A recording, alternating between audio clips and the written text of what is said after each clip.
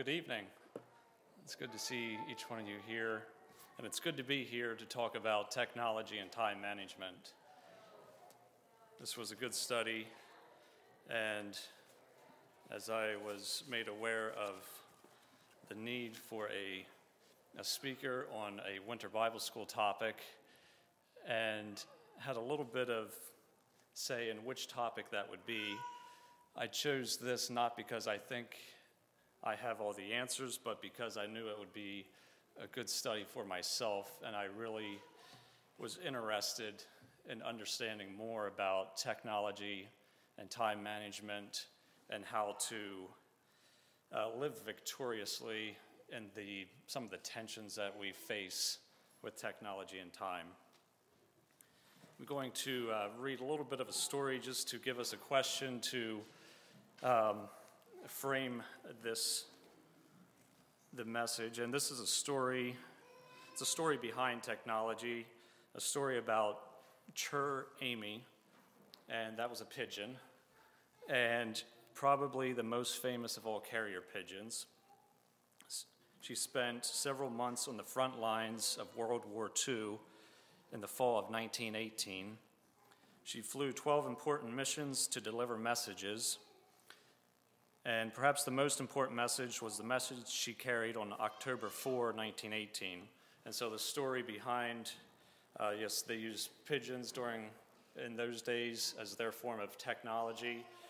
And, and they, would, they would put these messages, uh, attach them to the foot of a pigeon, and they would fly them, let them out. They were uh, pigeons that were trained uh, to go back to their home base. And so these these were trained, and this was um, a pigeon that was trained and that accomplished her mission. But the story behind it is a story that I think is interesting. Um, on October 3 in 1918, Major Whittlesey and 500 men were trapped in a small depression on the side of a hill.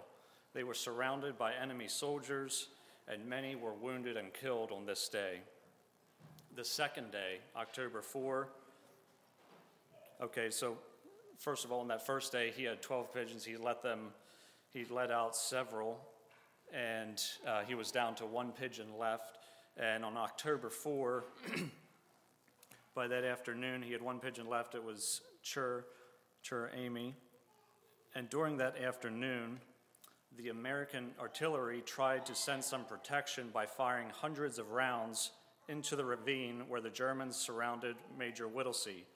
Now, unfortunately, the American soldiers didn't know exactly where the sol- the American soldiers, commanders didn't know where the American soldiers were and started dropping big shells right on top of them.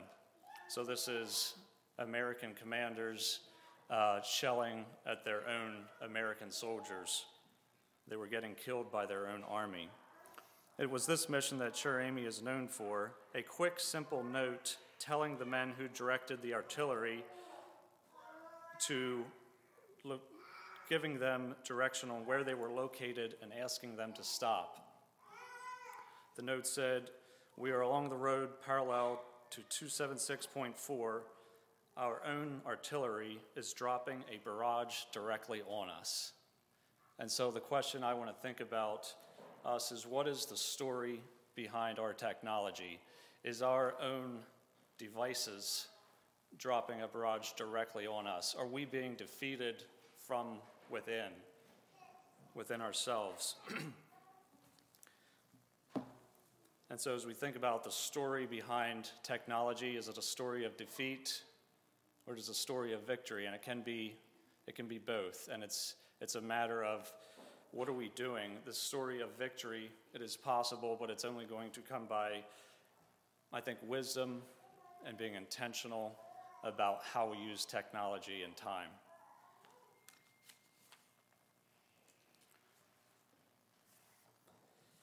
And so, as we look at the message, I want to think about, and we think about technology and time, I want to think about some things that are surrounding us, some things that are, we're going to have to deal with. what is the society in which we live? And I'm going to just read another short expert to help us to understand what's really going on. And this is a this is a short summary of a book. It's a textbook. It's called Hooked. It's by Nir Eyal.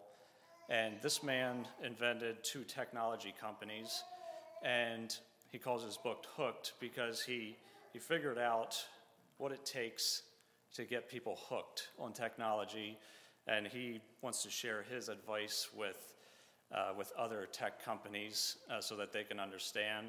Um, and he does say that this should not be used against people for any harmful addictions, but only for their good. But I think we can all understand that Satan is using this to, uh, to draw us in, to have us hooked on the wrong things. And other companies, um, we can be hooked on their services, their technology, their programs that might not be helpful in our growing on our faithful Christian walk. And so this is just a little bit what he says. He said, Hooked is a test, textbook for developers and designers who wish to build a product or app that will repeatedly engage its users. Today, more than ever, a product, a product needs to be self-sustaining, self-sustaining in its ability to keep users loyal and active.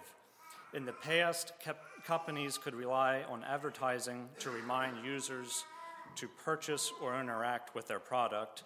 Today, however, the most successful companies in the world, Facebook, Google, Apple, to name a few, all thrive on becoming an instinctive part of their target users' lives, triggering them to continue using the product without so much a reminder.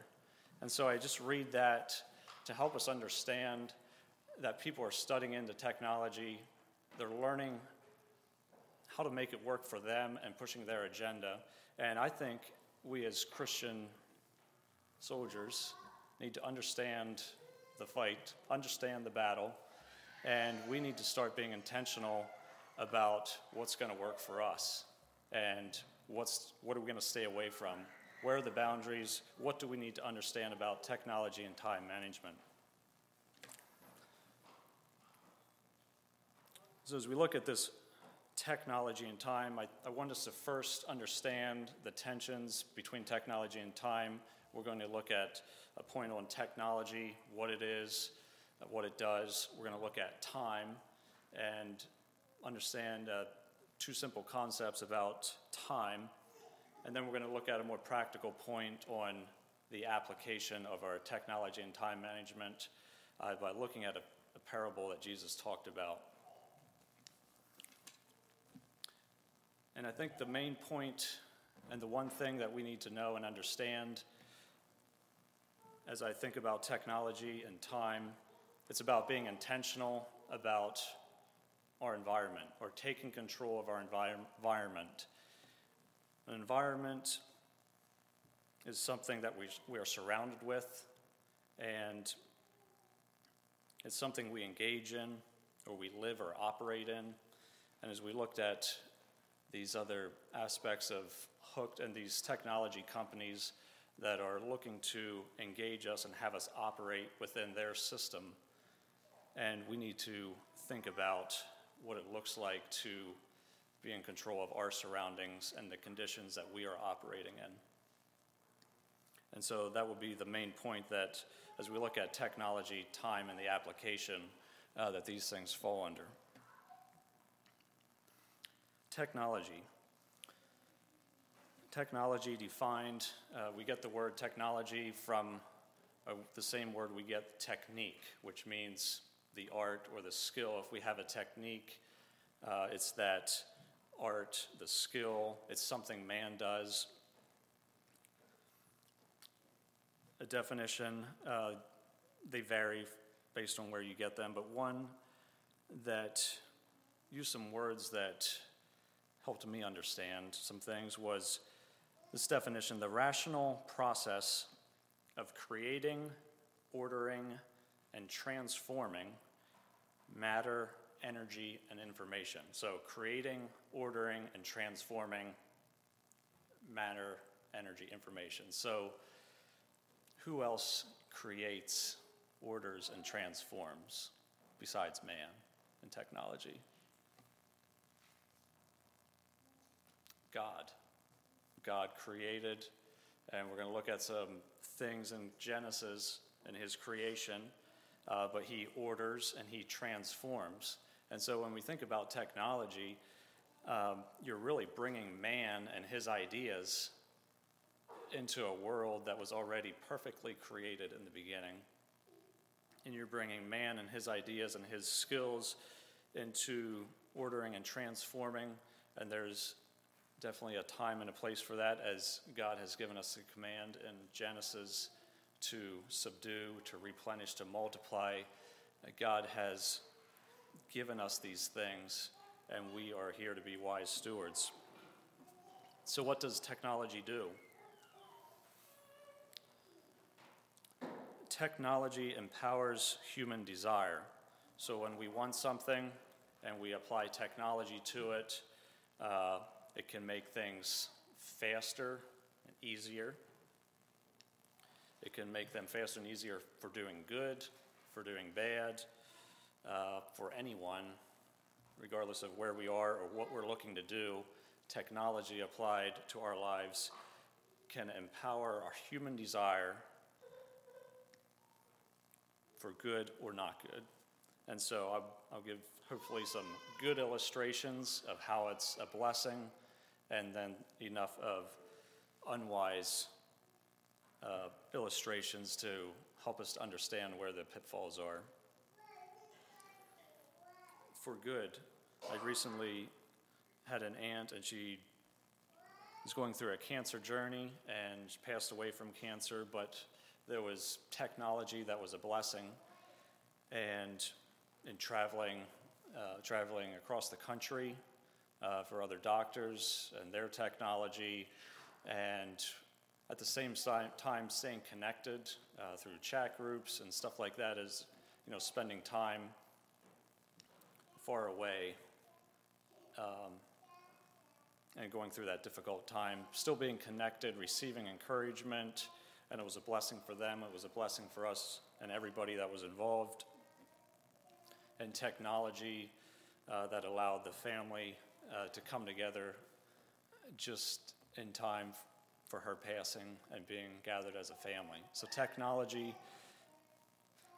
can be used for good, and it is a tremendous blessing. So, as I talk about technology and time, I do not want to uh, come across that I'm against technology. It's a matter of learning how to use technology for good. And so, if technology makes things easier and faster, if we have technology without a wise use of time, we have it being easier and faster to have an unwise use of time. Easier and faster to waste our time, easier and faster to, uh, to follow other opportunities that will not be lasting in God's kingdom.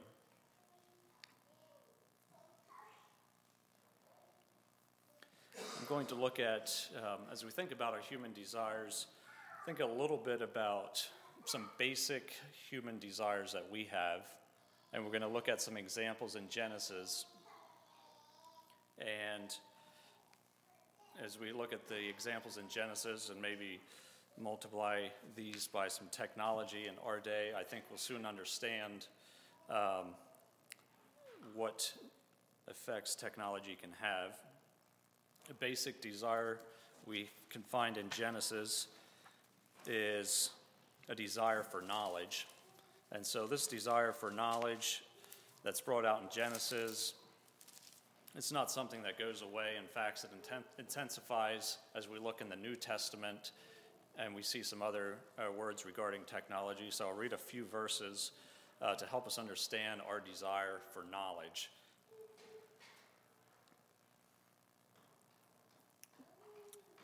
Genesis 3 6. And this is the spot where Eve is in the garden.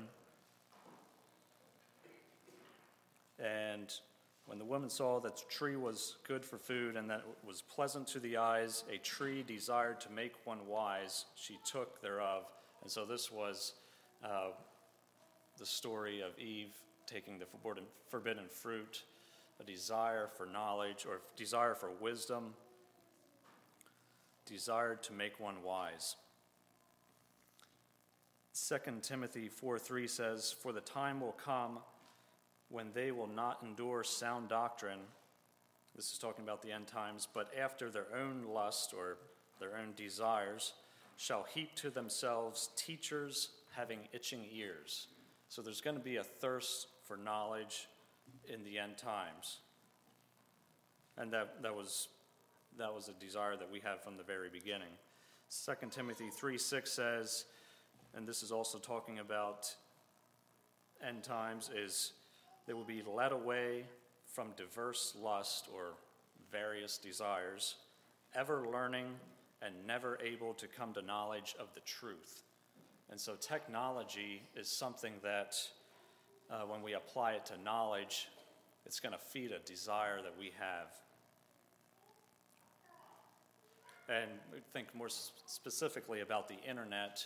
And here's a short expert, excerpt from the internet. And this was written in the 1960s when the internet was being developed. It says the internet is at once a worldwide broadcasting capability, a mechanism for information dissemination, a medium for collaboration and interaction between individuals, their computers, without regard to geographic location. And so we're talking about the internet as it was developed. This would be a, a worldwide broadcasting capability. There would be information accessible uh, without regard to area, um, geographic location. And as we apply that technology to our desire for knowledge, we have things that can be harmful, and we have things that can be good. Uh, we have knowledge that can be good as we are intentional about using it for the right reasons. At our winter Bible school in Mount Hope, uh, we are, half of our offerings are going towards Heralds of Hope, and so they have applied technology of the radio uh, to reaching people across many countries where we can't go, and they're spreading the knowledge of God's Word, the good news, uh, through, through technology. So it's something that allows us to further our de- desires for good or for evil. In Genesis 6, we have a awareness that man, man is, is evil. And Genesis 6, 4 to 5,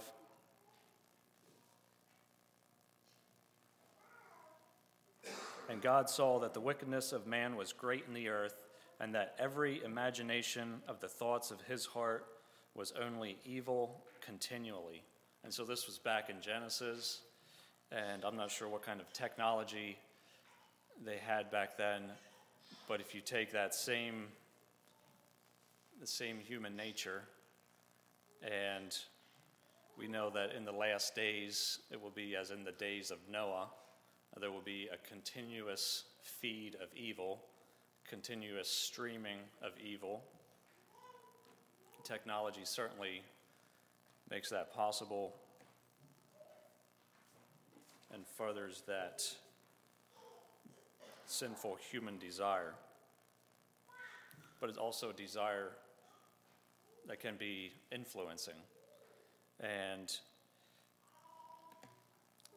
I uh, talked a little bit about Heralds of Hope, and you know, there's there's evil in the world, but as we apply technology, we can influence the evil world around us.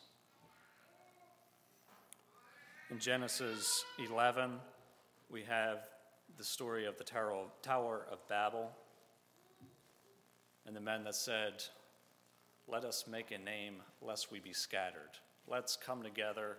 Let's build this tower let's make a name for ourselves lest we be scattered.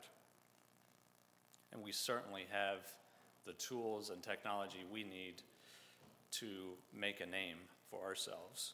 We're looking at these human desires that can be applied to good or to evil and understanding what some things are, what some struggles are we're going to have to deal with.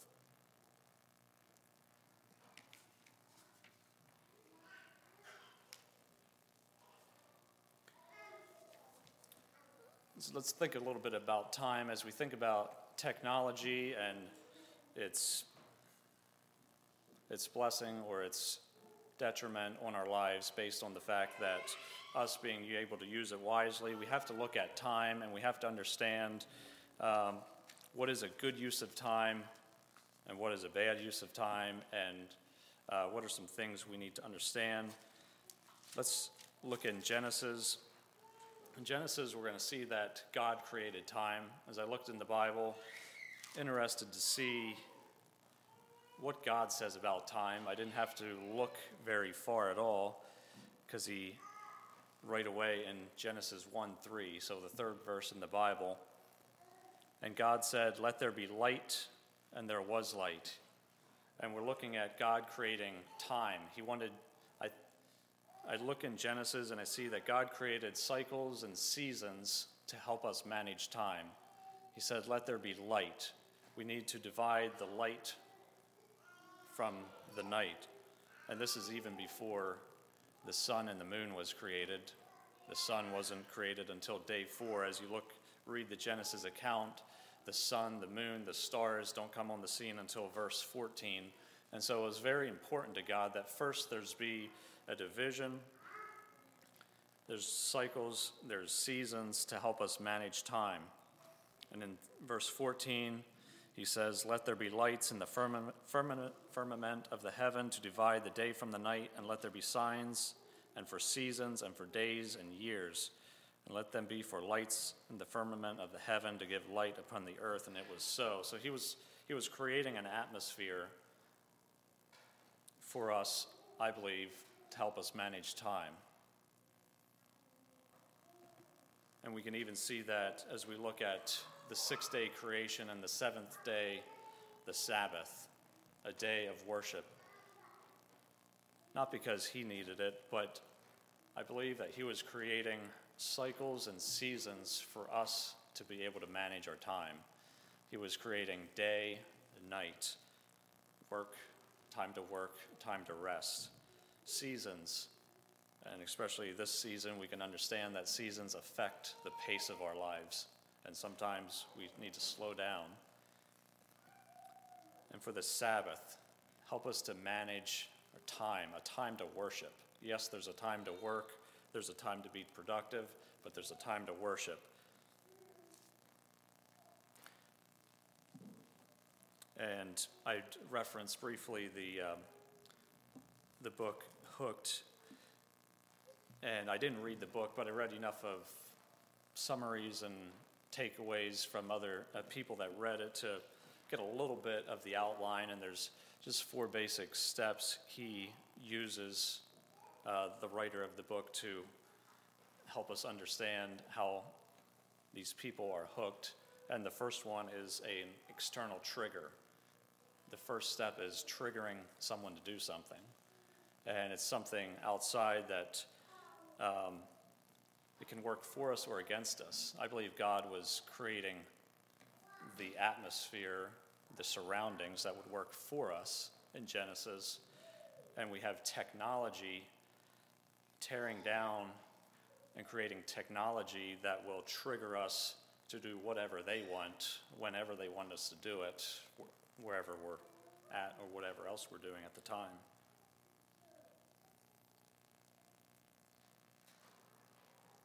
And maybe along with that, as we move through the theme of technology and how it works against us, uh, the other, it calls us to action. And this whole transition and being triggered to action uh, must be fast and it must be easy. And in Genesis, I see God creating seasons to help us, if we pay attention, um, to learn to let aside but technology takes down those boundaries. It makes it fast and easy to do anything. And so we could look at time in the sense of quantity, hours, and minutes, as we've looked at briefly here in Genesis, but we also want to look at time in the sense of our purpose. And so maybe when you think of time, you think of the verse in Ephesians 5 redeeming the time. See then that you walk circumspectly, redeeming the time, not as fools, but as wise. Or Colossians 4 5, walk in wisdom towards those that are without, redeeming the time. So, in this, as we look at time in Scripture, we have to understand that there's the quantitative sense of hours and minutes, but then there's also the qualitative sense of our purpose and using the time in this season. That word time that's used in Ephesians and Colossians is from the word kairos, which means time as opportunity, a fitting season, a season or occasion. And so we have to look at time not only in hours and minutes, but we have to look at time in regards to a fitting season. And so we understand um, this is the season, uh, now is the time um, to be building, to be part of the kingdom of God. The season is now, the time is now when we can be investing in the kingdom of God. And I believe that's one, as thinking about how technology relates to time, I see technology causing us to focus on hours and minutes and pulling our attention away from opportunity or relationships. And so we have to look at the season that we're in. And maybe just some examples of what this looks like. What does it look like to apply the, the aspect of time and hours and minutes to purpose and technology? Uh, we have some farmers here, and you understand that in the springtime, when it's planting season, you only have a certain window. And so when the ground conditions are right, you have a certain window. It's not many days. And so every, every move needs to be a wise move in getting the seeds in the ground. And so we use that and apply our technology to make our moves count, to take full advantage of the season. And we need to understand that concept in a Christian walk is looking at our time, looking at our days. Psalm says, Teach us to number our days. So look at our time, look at the season that we're in, so that we can apply our hearts unto wisdom. So as we look at our time and we understand how we're going to redeem it and what we're going to do. in Luke, we have the, the um, Good Samaritan and we have uh, we have the priest and the Levite. They walked past. They they did not. They were had other things on their radar, and they're thinking about time. Um, but the Good Samaritan took the time. He took his hours and minutes, and he was giving something that Jesus could could use to teach about fulfilling our purpose. And he used technology. He he set the man on his donkey, which was their technology and you know training the animals to carry and do their work, and took him to the hospital where they would use their technology to uh, wrap up his wounds, and then he went away uh, to where his work was, and most likely employed some sort of technology to make more money because he said here's the money for the bill, and if it's not enough, I'll come back and pay more.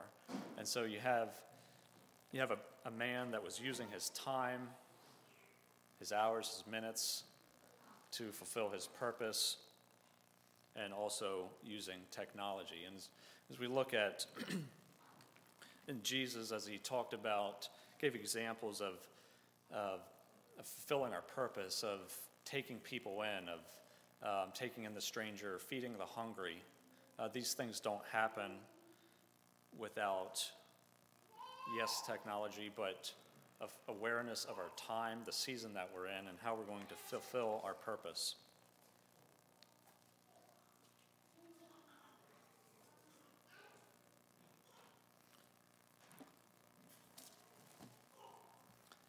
So we want to look at maybe a little bit more of a practical scenario. And We're going to look at the parable of the soils in Matthew 13. You can turn there.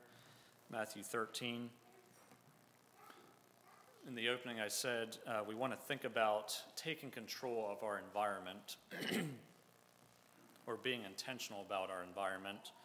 And Matthew 13, where it talks about the parable of the soils, is giving examples of an environment for a seed to grow. And it's something that can help us to understand the Word of God in our life. And so this is much, this parable is much broader than technology and time, but we're going to we're going to focus and apply this, this parable to technology and time management.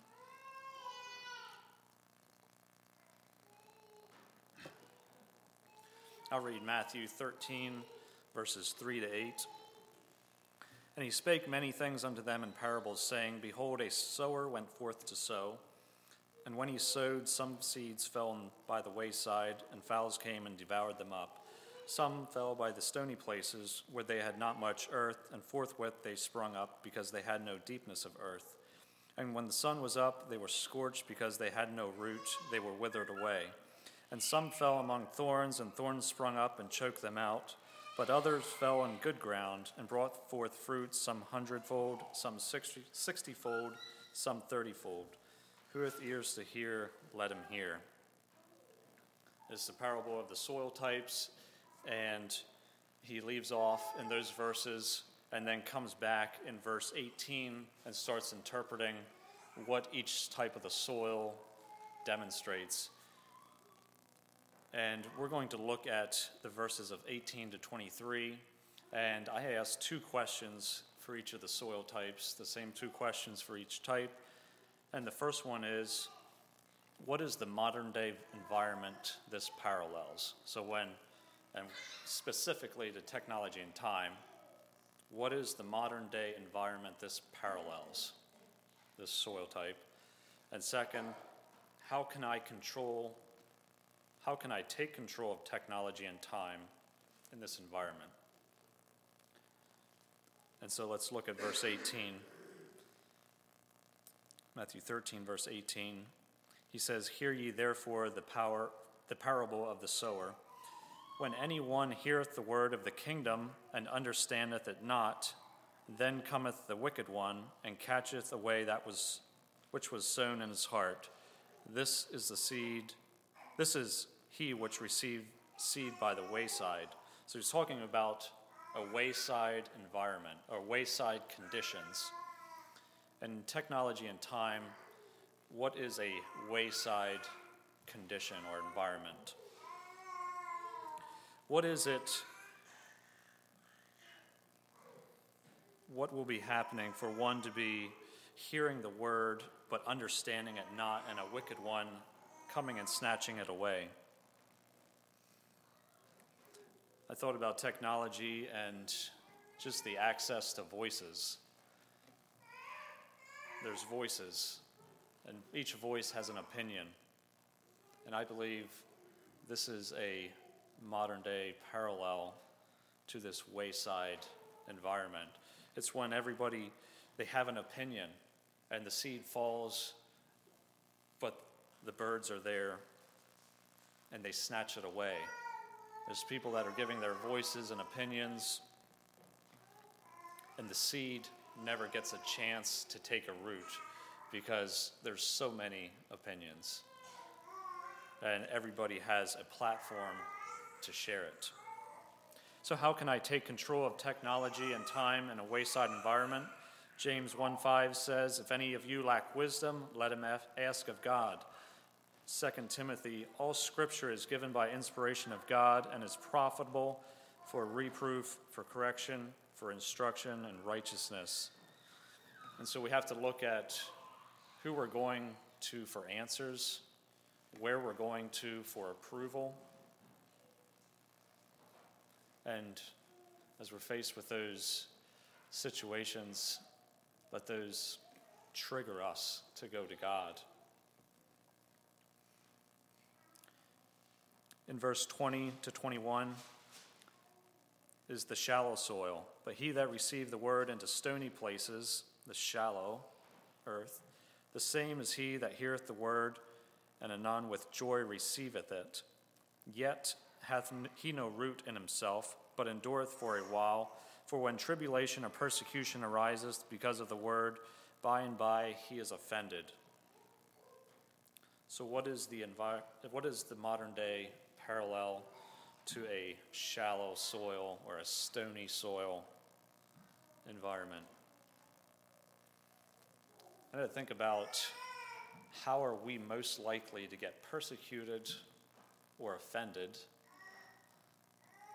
except by texts, the ease of sending messages, the ease of, of spreading, say, gossip socially to the world. We're persecuting, we're being offended, we're getting offended because of this technology. Things that would never be said in person to another face to face are being shared because it's, it's so easy to um, take a, a passive aggressive approach. And I think it's something that could parallel an environment of that that's going to feed that persecution and that there's opportunities to be offended and to offend. How can I take control of technology and time in a shallow soil environment? You are in control of who you associate with and how you communicate to them. You're, con- you're in control of who you associate with and how they influence your life. And technology can make it very easy to distance yourself or become influenced. We may be able to grow deeper by choosing real face to face relationships and conversation rather than using technology and its many platforms. We're talking about um, having a, a condition or environment that's going to allow us to, to grow, to take root, to not be offended or misunderstood. Many, many, I'm sure we could all give many uh, examples of miscommunication that happened uh, through technology and how someone was offended. We have the weedy soil in verse 22. He, that also, he also that receives seed among the thorns is he that heareth the word, and the cares of this world and the deceitfulness of riches choke out choke the word, and he becometh unfruitful. This is a a soil that's infested with thorns or weeds. And he hears it, but there's cares of this world and deceitfulness of riches. Some interesting words he uses there cares of this world and deceitfulness of, ri- deceitfulness of riches. And what is the modern day environment that parallels this weed choked soil?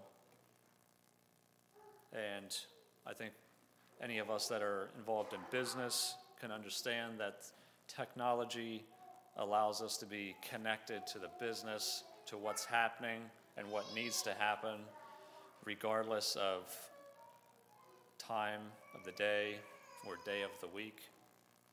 And it's something that can easily choke us. We have email, we have opportunities. Um, opportunities, regardless whether it's business, whether it's um, other fun things to do that capture our interest. How can I take control of technology and time when the weeds are choking out my spiritual life? I've set up time boundaries for email, phone use, etc. Is setting up a time when the weeds, when the cares of this life cannot interrupt a boundary, a space, a time, so that they do not choke out. We have the productive soil in verse 23. But he that receiveth seed into the good ground is he that heareth the word and understandeth it, which also beareth fruit and bringeth forth some hundredfold, some sixty, some thirty. I believe this parallels to one that has taken control of what he's surrounding himself with. See, technology is only profitable if we use it wisely. Technology is only profitable if we use it wisely. Use it wisely as a tool. That's one thing with technology. As it developed over time, technology was the tools. And now technology, the tools, is becoming, it's immersing us. And so we need to take a look at technology and understand that it is a tool, but we need to use it for specific profitable things. It's only profitable if we use it wisely. How can I have a productive environment with technology and time, develop routines, uh, make unprofitable things difficult to do rather than fast and easy?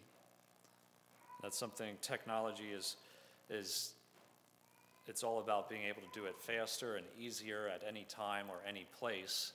And we need to understand what the unprofitable things are and set up guards around that so that it's no longer fast and easy. The saying goes it doesn't take a lot of willpower to eat a chocolate bar if there's not a chocolate bar in the house. And I think that's same with in regards to phone use when it's time for devotions. It doesn't take a lot of willpower to not use your phone when you're supposed to be having devotions if your phone is not there. Eliminate distractions and be still and allow God to speak. we have a few minutes here, so I think I, this time I'm going to just maybe turn it over to you. You can um, think about in what way can you take control of your environment And so you can, um, I'll just turn it over. You can talk amongst yourself, whether it's with a spouse or someone sitting behind or in front of you. Uh, we'll spend a couple minutes, and we really need to think about what changes, is there any changes that need to be made? Where are the struggles in our surroundings as we deal with tech and time? And is there something I can do where we had the story about, you know, the the army that was defeating themselves, their own devices or their own artillery was destroying themselves. So take a few minutes, uh, think about it, talk about it. Uh, we'll have a couple minutes here.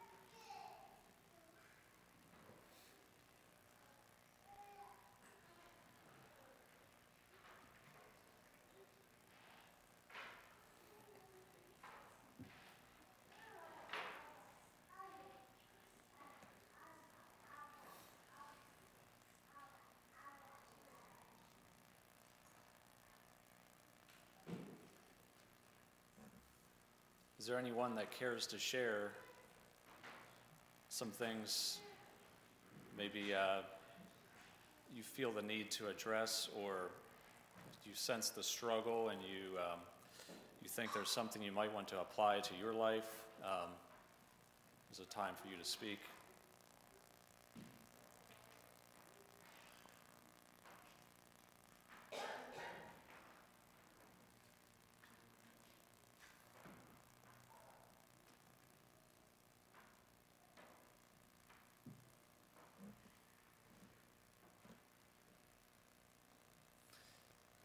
is thinking about technology and time, I want us to realize the investment is not just for our own lives, but it's going to affect the generations to come. Let's think about a family and technology and time and how that will set the course for their children. So, technology and time, yes, it's about us and it's about our lives, but it's going to outlast us and our decisions that we make It's going to set the course for our family, for our children. It's going to set the course for our church, the growing and the core of our relationships. You know, church is a lot about growing in relationships.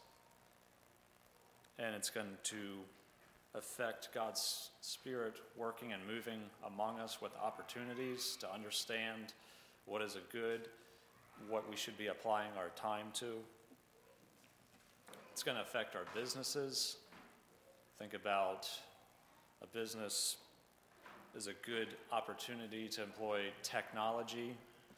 And so, as a business owner, to have a good work environment uh, where technology um, and time will not, it will not be used unhealthily against, you know, people that uh, we work with.